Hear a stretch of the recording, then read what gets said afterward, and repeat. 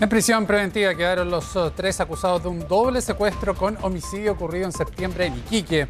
Las uh, víctimas, quienes habrían negado a entregar información sobre una transacción de droga, fueron golpeados, heridos con una escopeta para luego ser quemados.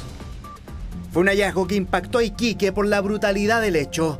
Rápidamente el tema se tomó la portada de los medios locales y a más de un mes de lo ocurrido se conocen detalles de la reservada investigación por la muerte de una pareja cuyos cuerpos fueron encontrados calcinados. Detrás de todo estaría el tráfico de drogas. Las víctimas, un hombre y una mujer de nacionalidad venezolana, habían sido cogidos por un chileno, un imputado, en el sector de Chanaballita en su hogar.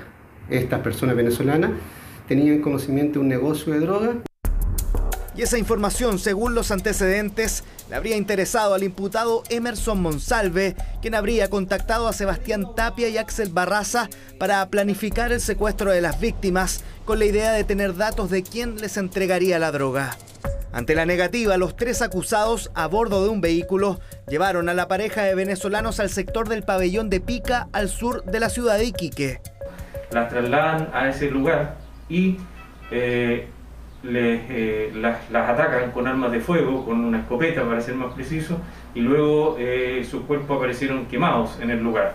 Clave para la detención de los involucrados fueron los peritajes en el lugar y lo que señalaron testigos.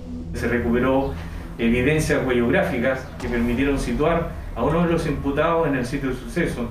Además, se hicieron eh, empadronamientos de testigos que permitieron situar a los tres sujetos en el, lugar el día de los hechos. En prisión preventiva permanecen los tres ciudadanos chilenos imputados por doble secuestro con homicidio. La investigación buscará dilucidar además si las víctimas seguían con vida al momento de ser quemadas.